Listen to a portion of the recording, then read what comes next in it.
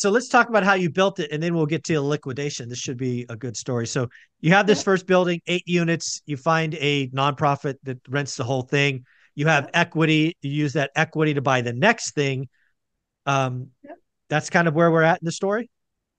Yes, that's where we're at. And then I just renovated that one a little bit and I rented it. That one wasn't that old, but because I had the like the the money from the first one, I could secure the second one. I didn't have to go for absolutely dingy building, Yeah, right? Because the first one was really dingy, but then at that point you have some something in your hands, and that way you can keep growing.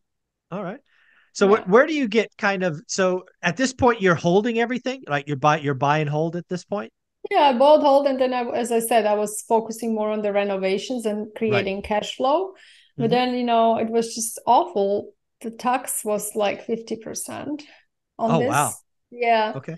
So I just was really annoyed because I worked really hard and I couldn't manage to make more than 60,000 a year Wow. Yeah. and plus my passive income. But still, you know, like that's after three and a half years of this work, I Mhm. just left to the US.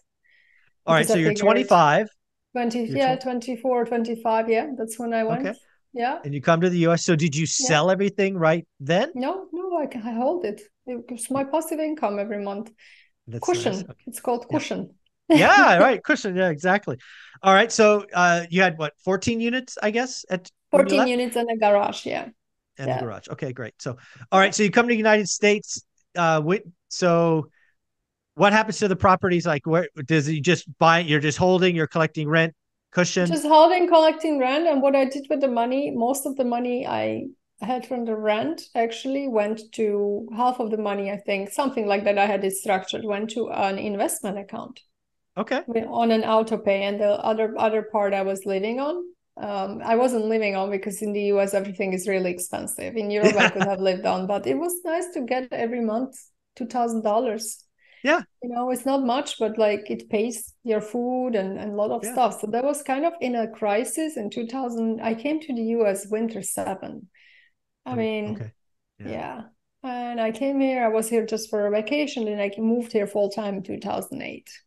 Okay. All right. I really like that idea that you've set up the auto pay, Yeah. like quote, quote unquote, pay yourself first, right? Take Yeah. fifty percent, put it here, and then the other fifty percent you ball out, do whatever you want with Yeah, it. Uh, it's you your fun yeah. money.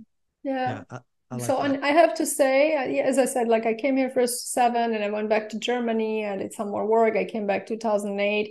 It took me a while to to full time move here, but but uh, honestly, 2008 nine to have this two thousand dollars a month as a cushion was really really helpful. meaningful. Yeah. Yeah. That's meaningful. Very, very It cool. was good. Yeah, you could, in the worst case, you could literally live on that money in the yeah, you US could you well. could make it happen. And I for fact did because at some point when I applied for my green card, it took like nine months to get the paperwork done. Mhm. And um, I had to, I couldn't work. So I, I would just rent a room. I was Mm. very frugal my whole life. I didn't care. I rent a room for $600 a month in New York City.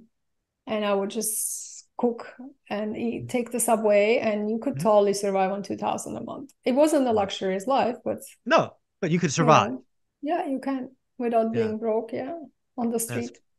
Yeah. That's that's yeah, that, that's that's pretty amazing.